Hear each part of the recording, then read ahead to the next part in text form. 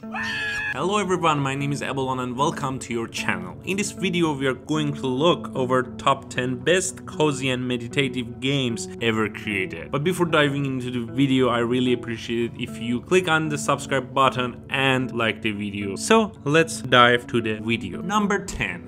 Chants of Sennaar is a 2023 adventure video game developed by Rundisc and published by Focus Entertainment. Players solve puzzles and mini-games to translate fictional languages. Players explore a structure inspired by the Tower of Babel, which the titular Sennaar refers to, full of people who speak fictional languages, represented by a logographic writing system. Encountered languages must be translated using clues such as non-verbal communication used by other non-player characters, illustrated signs, or other contextual clues. The player is aided by a notebook that contains the list of graphemes the player has encountered up to that point, and they may type in a word that assume is a meaning for grapheme, which is the displayed above the grapheme the next time they encounter it. Once the player encounters enough graphemes, the notebook offers a test to see if a player has correctly translated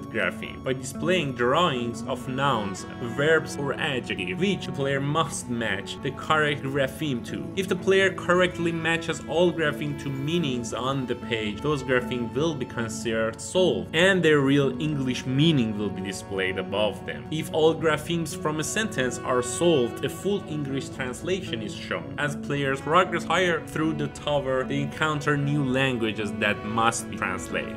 Number 9. Toem, stylized as T-O-E-M, Photo Adventure, is a photographic game developed and published by Swedish independent game studio Something We Made. It's the name of the studio. It was released in September 2021 for Windows, Nintendo Switch, and PlayStation 5, and Xbox One and Xbox XS. In the game, the player assumed controls of a young photographer who must ascend a mountain to witness a phenomenon known as Toem. As the player character progresses, they will visit numerous Scandinavian towns and cities that are filled with NPCs who will ask the player for help. Gameplay primarily resolves around helping the locals by solving various puzzles using the player character's camera. Players explore the game's world from top-down perspective, though it will shift to first person when the player is taking photos. Players earn stamps by helping NPCs and then can ride on the bus and progress to the next area. Once they have collected a sufficient number of stamps, the player character's outfits can also be customized. Number 8. Melatonin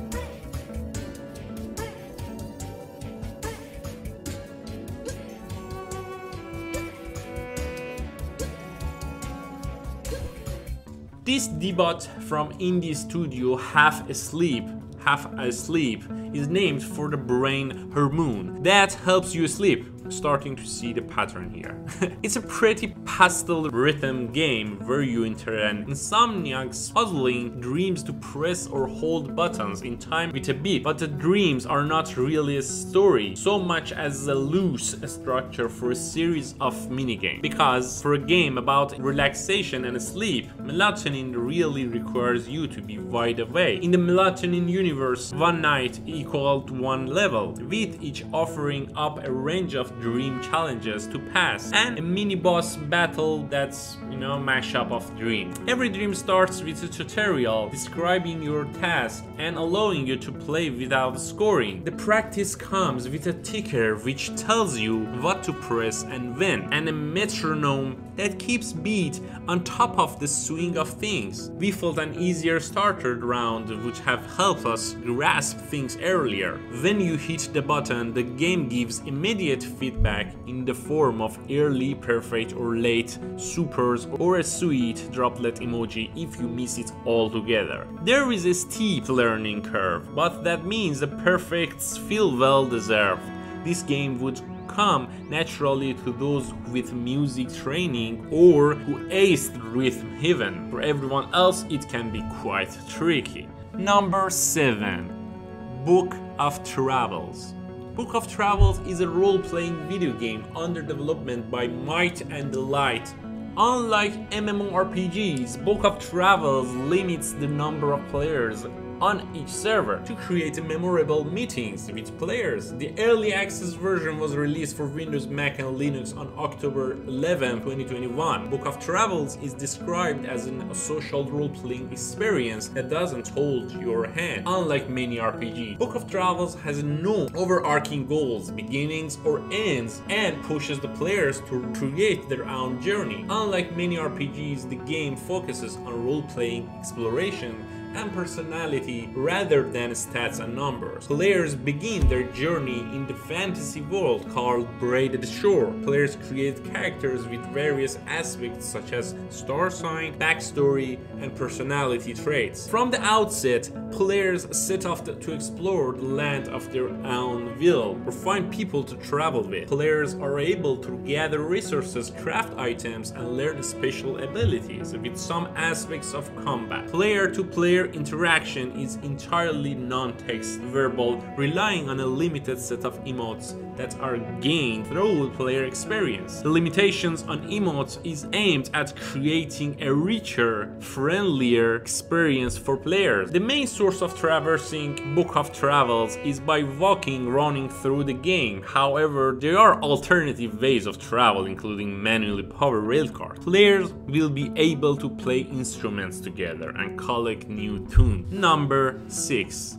A Short Hike a Short Hike is an adventure video game by Canadian indie game designer Adam Robinson Yu. It is an open world exploration game in which the player is, is tasked with reaching the summit of mountain to get cell phone reception. The game was released for Microsoft Windows, macOS, and Linux in July 2019, and for Nintendo Switch in 2020, and for PlayStation 4 and Xbox One for November 2021. A Short Hike received positive reviews from the critics who widely praised its relaxing gameplay, freedom, of explorations and flying mechanic, while some criticized the short length of the handling of some story elements. It won, it won the Seamus McNally Grand Prize at 2020 Independent Game Festival. The player has the ability to jog climb, swim and glide through an open world park while controlling a Claire, a dark blue anthropomorphic bear.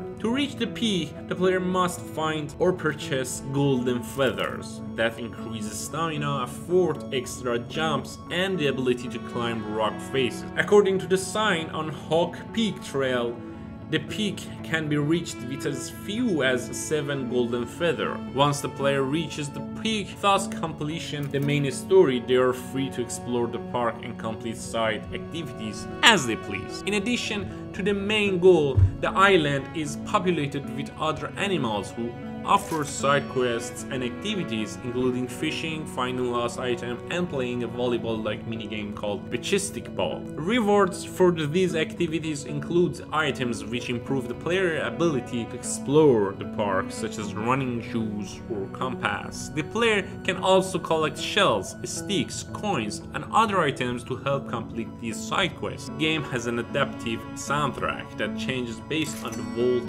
events such as you know, weather or player actions such as flying. It also features a dynamic camera created with Unity tools Cinemachine. Number 5. Dorfromantik is a city building puzzle video game developed and published by Toukana Interactive. In the game, players need to place an hexagonal tiles of various biomes to create an idyllic landscape. The game was released in March 2021 for Windows via early access and its full release on April 28, 2022. A version for Nintendo Switch has released on September 29, 2022. The game involves placing hexagonal tiles that contain a combination of one or more of the following land uses forest, barren, village, water, railroad, and field, with one island using long each side. The game begins with a barren tile and four new but random tiles to be placed. New tiles can be rotated before placing and must touch at least one side to an existing tile. Once placed, the tile cannot be moved. Both water and railroad tiles have to connect to already placed water or railroad if the tile is placed next to an existing water or railroad tile, limiting the possible orientation and adding further complexity to the game. Points are awarded for connecting the same land uses, special quests, and involve creating an area of the same land use of a certain size. For example, 10 fields and closing off an area that land use. For example, closing a forest so no new forest can be attached. attached. Additional tiles are awarded for a completing quests closing areas and for matching every side of the tile to the same land uses the surrounding tiles. The game ends when the players run out of tiles. Mm, nice. The game number 4, Beacon Pines.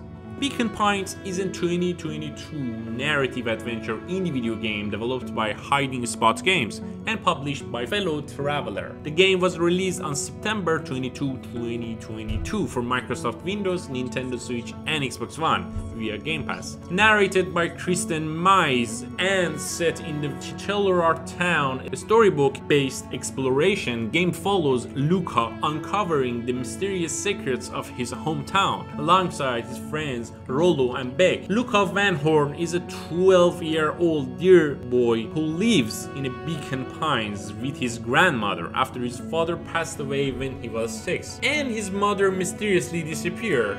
He hangs out with his best friend Rollo Cutter a leaguer while awaiting the town's upcoming harvest festival. The pair stumble onto some strange happenings at the abandoned warehouse in the woods near their treehouse. Along with the new girl in the town, Beck Moideville, the trio seeks to unreveal, unravel the mysteries of what exactly is going on there around. The game number 3, Unpacking. Unpacking is a puzzle video game developed by Witch Beam and published by Humble Bundle for Microsoft Windows, macOS, iOS, Android, Linux, and Nintendo Switch, Xbox One, PlayStation 4, and PlayStation 5.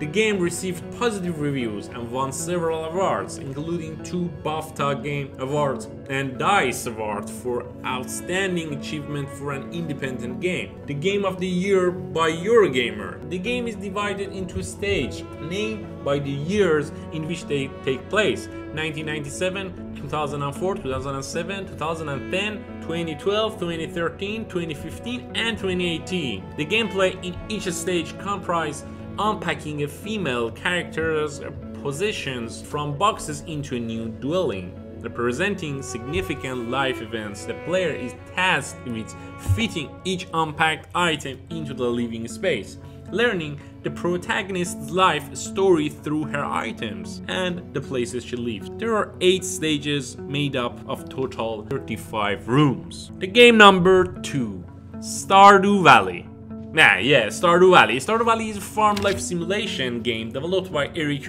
Barone or Concept, ConcernedApe Players take the role of the character who inherits their deceased the grandfather's farm in a place known as the Stardew Valley. The game was released for Windows in February 2016. Before being reported to other platforms, Stardew Valley is open-ended, allowing the players to grow crops, raise livestock, fish, cook, mine, forge, and socialize with the townspeople, including the ability to marry and have children. It allows up to four players to play online together. We, talked, we talked exclusively about Stardew Valley in another episode, which the link is here in top. You can go and enjoy that show separately. But before we dive into the last one, I really appreciate it if you click the subscribe button and like the video and maybe we missed a game in the list and you think it should be. So I really enjoyed reading your comments and responding to. My name is Ebolan, thank you for watching the video, let's dive to the last one. The game number one, Journey.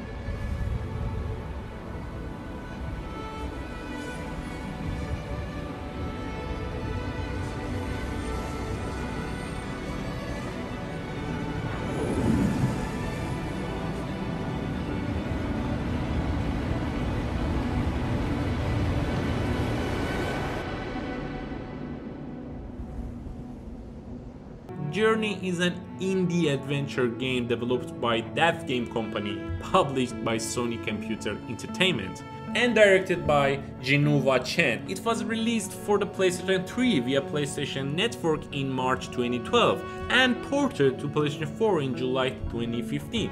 It was later ported to Windows in June 2019 and iOS in August 2019.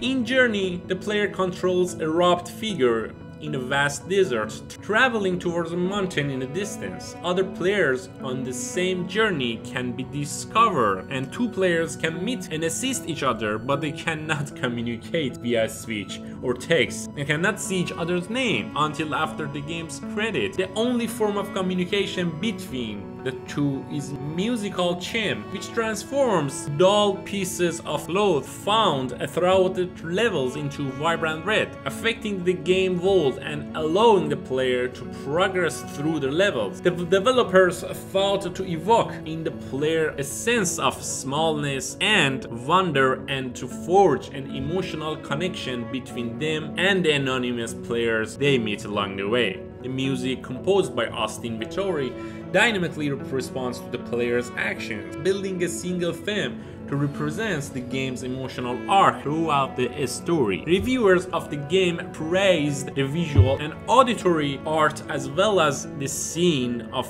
companionship created by playing with a stranger, calling it a moving and emotional experience and have since listed it as one of the greatest video games of all time. Journey won several Game of the Year awards and received several other awards and nominations, including the Best Score Soundtrack for Visual Media nomination for 2013 Grammy Awards. A retail collector's edition including Journey, that game's company's two previous titles and additional media was released in August 2012.